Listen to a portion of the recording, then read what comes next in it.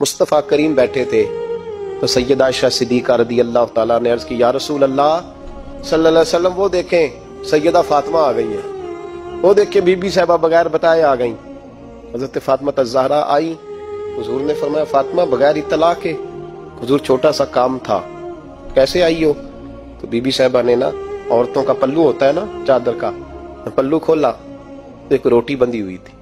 खोल के पेश की बेटे ये क्या है? अब्बा जी कई दिनों से घर में रोटी नहीं पकी थी। आज अली कुछ जौ लाए थे। पीसे हैं, चंद रोटियाँ बनी हैं।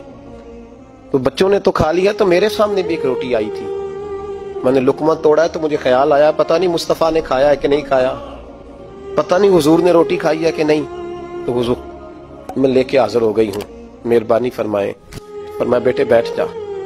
हज़रत फातमा भी बैठ गई। सैयद आयशा कहती हुजूर भी बैठ गए। फरमाया फातिमा कितने दिनों से नहीं खाया?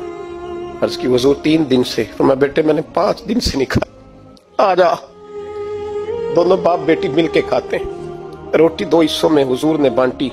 फरमाया, चला जी तू खा। आदि, मैं खाता हूँ।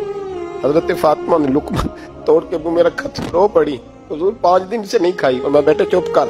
हमारा दुनिया से क्या ताल्लुक? एक पुल रह गया है। बस अल्लाह फिर जन्नत की सारी नेम